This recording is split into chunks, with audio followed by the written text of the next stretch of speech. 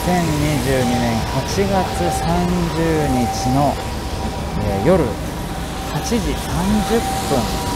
皆さん見ていただいてわかるおなじみの景色。これは渋谷のまたまたスクランブル交差点に私はやってまいりまして、えー、今からですね、えー、BE:FIRST のアルバム本当は発売日は明日ですけれども、え今からですね渋谷タワーレコードの方に予約をしているものを、え受け取りにね行き行きたいと思ってるんですけどもその前にこのねスクランブル交差点を渡って私はねどこへ向かいたいかというと実はこのね蔦屋さんが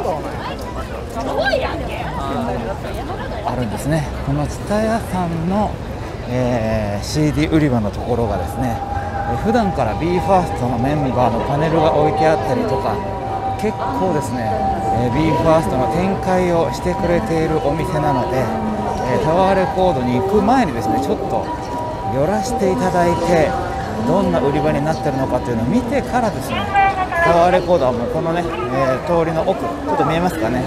奥の方に黄色い看板で高いところにタワーレコードありますけどもこのちょっと手前ですね左側のここが蔦屋さんの CD ショップでございます。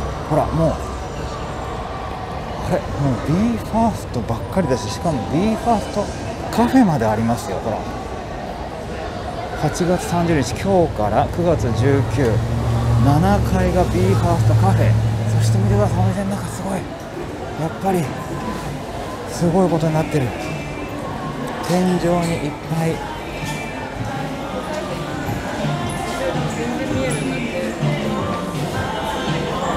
ポスターが貼ってあってここは BE:FIRST の売り場。そしてここ見てくださいほらネルが展示されていてすごいですよこのどでかいパネル。上にもいっぱいポスターが降りていて。これはすごい。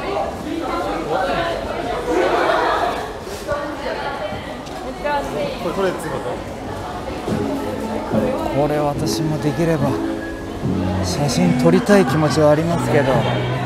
さすがにこれ男子1人で行って撮るのは勇気いりますね。あここに。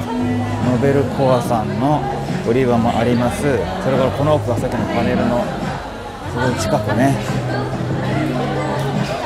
でっかいパネルです。そしてこのこちら側はほらスタヤの格好してるみんな。BE:FIRST のメンバーここは The Final と The First Final と BE:FIRST の売り場ここにもあります。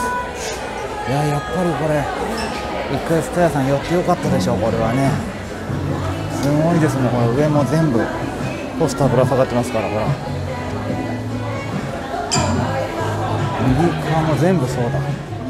右側の壁もこっちも映像が流れてこっち大きいパネルすごい。そうだすごい展開になって皆さんねファンの方も結構写真を撮ってますよ。キャーキャー言ってる皆さんね女性の声が聞こえるかもしれない。けど私もパシャパシャ写真を撮りながら。これはすごいわ。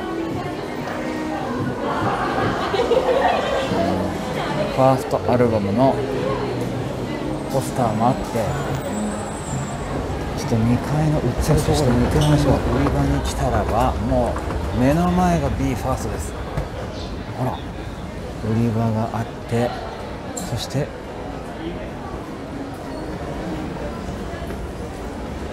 こちらはあなんか皆さんが文字を書いてるのはあこっちにメンバーへのコメントを書くところがあるんですよ。大きなボードが。すごい。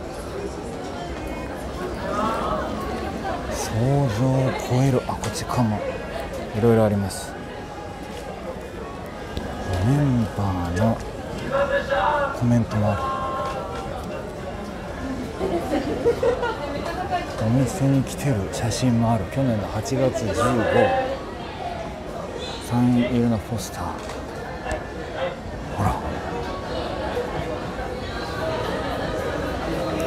これさっきの動画もまたこれも流れてすごい。大きなパネルに皆さんのファンの方もコメントを書いてこんな風になってるんですね。これは驚きです。